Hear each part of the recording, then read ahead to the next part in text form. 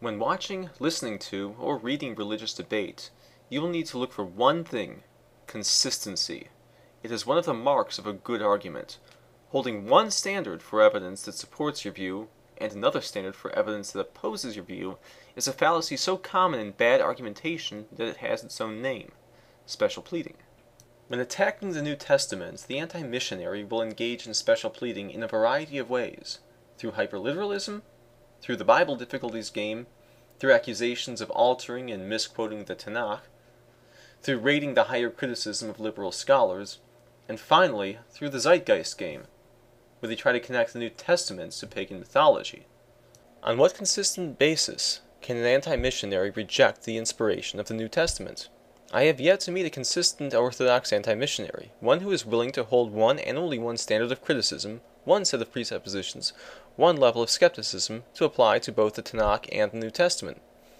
It is intellectually dishonest to assert without question that the Tanakh is the infallible Word of God, and then to put the New Testament on trial for its life, presuming it guilty until proven innocent. I believe most anti missionaries are aware of the difference between humanistic and naturalistic scholarship that begins with the assumption that God has not spoken and cannot speak, and scholarship that does not determine what God cannot do right from the start.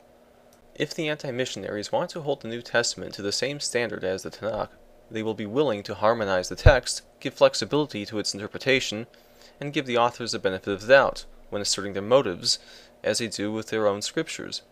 If they are unwilling to do so, then we know the anti missionary position is untenable. Inconsistency is a sign of a failed argument.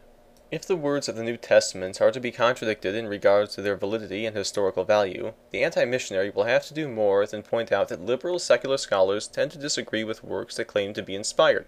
That is a given. Without hard manuscript evidence that the text has been altered, accusations that certain parts of the New Testament were changed later on remain nothing more than pure speculation. In attempting to discredit the New Testament, the anti missionary will apply inconsistent standards, being flexible and gracious when interpreting the Tanakh, Talmud, and rabbinic writings, while offering no flexibility when interpreting the New Testament. They will use quotes such as, If your eye causes you to sin, cut it out, or Give away everything you have, and then fault us for not following it. They will suggest that accounts such as the resurrection are hopelessly contradictory and cannot be historical. They will also accuse the New Testament's writers of misquoting the Tanakh and sometimes even deliberately changing the Word of God. However, all of these issues have parallels in the Tanakh itself. The opening chapter of Genesis indicates a six day creation process, and the Talmud interprets each one of these days as 24 hour periods of time. The Torah declares an eye for an eye, allows slavery, and orders the extermination of the Canaanites. How literally do you want to take these passages? If you want some flexibility in interpreting them so that you're not forced to chop people's hands off, then please give the same courtesy to the New Testament. As far as the Bible difficulties game is concerned, placing Samuel and Kings on one side and the Chronicles on the other, an uncharitable interpreter can allege all sorts of contradictions. Did Jesse have eight sons or seven sons? Did Solomon's have forty thousand horses or four thousand horses? Did Jehoram son of Jehoshaphat begin his reign before or after Jehoram son of Ahab? It depends on which account you view. In fact, imagine a world in which these books of the Chronicles don't appear in the Tanakh, but instead are part of the New Testament. I would venture a guess that those two books would be the focal point of anti missionary attacks. It would be their proof that the New Testament is not the Word of God and not the continuation of the Tanakh. But since it is part of the Tanakh, they are forced to harmonize it, yet they refuse to give the same charity to the New Testament. Is paraphrasing a text the same as maliciously altering it the way Tovia Singer alleges about the New Testament? If you think so, then you will have to throw away the Tanakh as well. Second Chronicles 25:4 is written slightly differently than the Deuteronomy 24:16 in the Hebrew. And also remember Matthew's quote, "He will be called a Nazarene." Is this a fabrication by Matthew? Well, if yes, then you'll also have to throw away Ezra 9, 10 through 12, which quotes a part of the Tanakh that otherwise does not exist. The Zeitgeist game, as I call it, is basically the assertion that the life of Jesus in general and his resurrection in particular are just derived from mythology. Now, this is not a new theory, but is characteristic of the old history of religion school of thought at the beginning of the 20th century. Scholars in comparative literature ransacked pagan mythologies to try to find parallels to Christian beliefs. The movement soon collapsed for two reasons. The first reason is that scholars realized the supposed parallels were just superficial. The ancient world was filled with mythologies of every kind. When you look at these myths carefully, you find that there's great diversity among them. Some are mythical symbols of the crop cycle in the case of Tammuz, Osiris, and Adonis. Some are uh, apotheosis tales of the assumption of the hero into heaven in the case of Hercules. Some are emperor worship stories, as is the case with Caesar. And none of these are parallel to the Jewish idea of resurrection. None of them are true parallels of the life of Jesus of Nazareth. And just describing pagan myths using New Testament vocabulary, as we see in conspiracy movies like Zeitgeist, talking about Horus or Mithra, uh, this is nothing but pure charlatanism.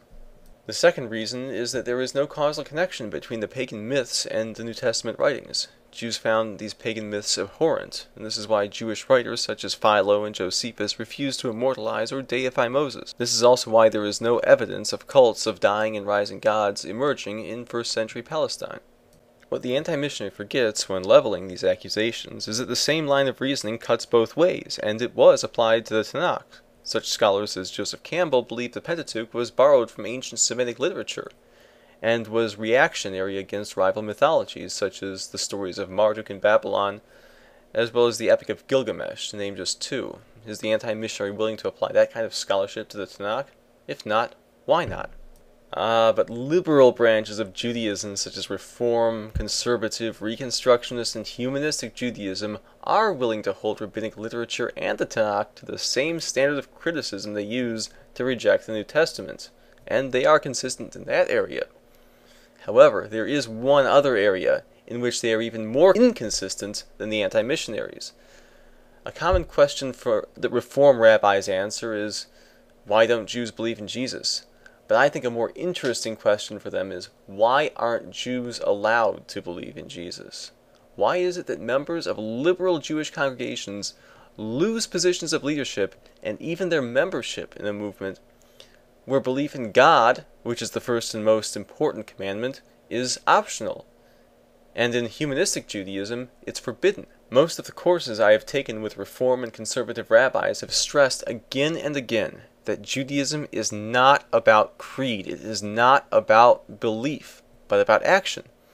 It is about identifying as part of a people group and uh, adopting a choice of lifestyle, culture, language, food, and the cycle of holidays. Christianity, on the other hand, particularly evangelical Christianity, is not about culture, but is mainly about creed. So why can't you adopt the creed of Christianity and place it within the culture of Judaism?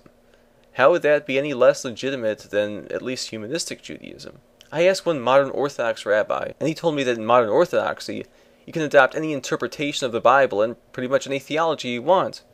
You just have to follow the lifestyle prescribed by the rabbis, which now allows someone to be both gay and orthodox. And you also cannot believe in the deity of Jesus or Schneerson. In other words, it's arbitrary. It's inconsistent, and inconsistency is a sure sign of a failed argument. Finally, it's important that we Christian apologists be just as consistent when we criticize other religions. In future videos, when I criticize Talmudic Judaism, I will not give liberal critics of rabbinic writings such as Jacob Neusner a free pass when they apply higher criticism to these texts. I am more than willing to allow for harmonization of rabbinic texts, and demand hard manuscript evidence whenever a higher critic asserts that these writings changed over time. Arguments that cut both ways and prove too much aren't of much use to anyone. So, in conclusion, when you hear an anti missionary attacking the New Testament, you need to ask yourself would he be willing to do the same to his own scriptures? Shalom Aleichem.